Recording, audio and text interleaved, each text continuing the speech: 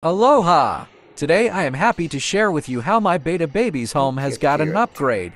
Thanks to Mark for this beautiful transformation. Now, it looks more homey and welcoming for my baby which up until now does not have a name yet. For a reasonably and affordable price this transformation is giving my betta a more relaxing tank to dwell in, not to mention its aesthetic qualities.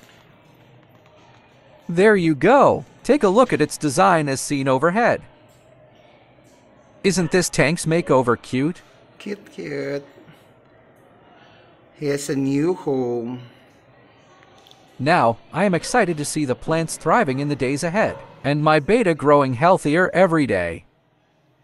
Fun facts about fighting fish male bettas are known for their skill in creating bubble nests. These nests, made of saliva coated bubbles, are built on the water's surface and serve as a place for eggs during breeding.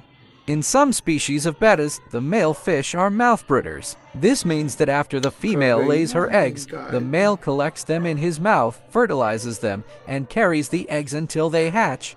That's it for today's video. Again, my gratitude to Mark for the aquascaping stuff. Ciao!